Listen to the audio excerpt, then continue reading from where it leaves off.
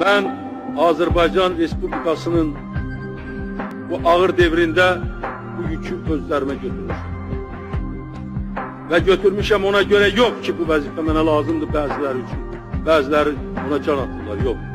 Götürmüşəm ona görə ki, öz bacı qardaşlarıma, öz doğma vətənimə, doğma vətəndaşlarıma, doğma torpağıma xidmət edir. Dəfələrlə demişəm, həyatımın son dəqiqəsinə qədər mən bu xidmət edəcəyəm. Və heç bir şey məni qorxutmur, heç bir şey də məni çəkindirmir. Və mən bütün bu təxribatların, terrorların qabağında durmuşam və duracağam. Azərbaycanın müstəqilliyini qorumuşam, qoruyacağam.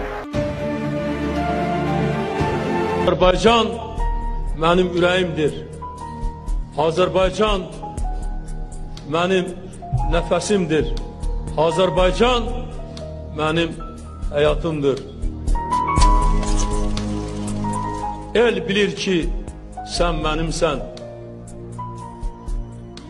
Yurdum, yuvam, məskənimsən. Anam, doğma vətənimsən. Ayrılar mı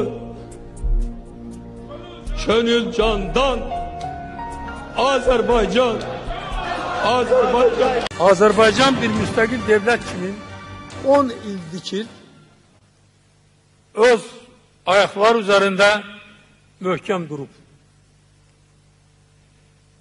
Bu devirde biz Azerbaycan'ın müstakilliğini inkişaf ettirmişik. Ve ben bugün beyan ederim ki Azerbaycan'ın müstakilliği ebedidir, dönmezdir, daimidir.